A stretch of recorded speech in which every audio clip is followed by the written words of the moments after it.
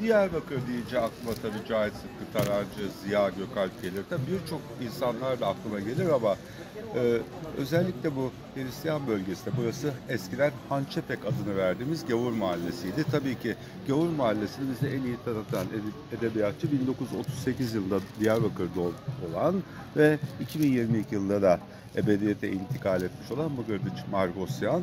Çocukluğu burada geçiyor. İşte o Gavur Mahallesi kitabında hep bu mahalleyi anlatıyor.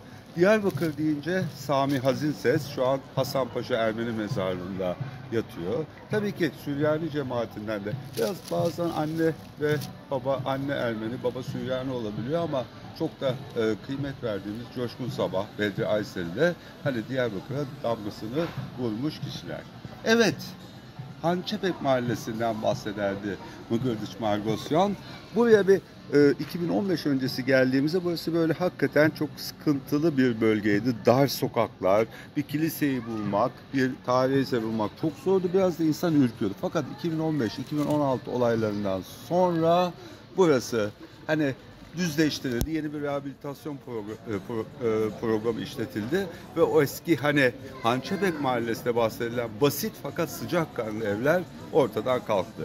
Dün taksi şoförüyle gelirken otogardan e, dediği aslında bu mahalle kalktı, modernleşti ama o güzellikler de kalktı dedi. Evvelden evlere giderdik, su ikramı alırdık, insanlarla sohbet ederdik. Artık onu burada göremiyorsunuz. Burası eski Hançebek. Bizim de bahsettiği bu Margosa'nın mahalle hamamı gelirler. Hep burada Ermenisi de vardı, Süryanisi de vardı. Süryanilerin bir kısmı caddede öbür tarafta da tabii yaşarlar. Kilise öbür tarafa denk geliyor. Ee, bir farklı bir Yahudisi de vardı çok az sayıda. Tabii Müslüman da var. Bunlar böyle bir aslında bir uyum bazılarında uyumsuzluk içinde e, yaşarlardı. Tabii bazen çocuklar, e, Ermeni çocukların şeye kötü muameleye maruz kaldığını söyler. Bunlar hep geçmişte kalmış olaylar. Ama Hançepek ne oldu? İşte bu oldu.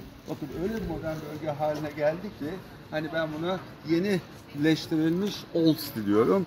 Kafeler, restoranlar ve mağazalar yani tamamıyla eğer eski hatırlıyorsanız o geç, kafanızdaki imajı silmeniz gerekiyor. Biraz ileride e, Ermeni kilisesi var.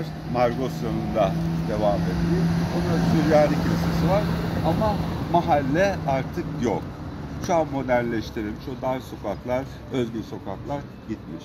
Bir yandan çok güzel olmuş, güvenli olmuş, zevkli olmuş. O bir yandan da o mahalle kültürü gitmiş. O sıcak mahalle kültürü. Ama işte durum böyle efendim. Sizle birazcık e, Hançepek Gavur Mahallesi hakkında konuşmuş olduk. Teşekkürler.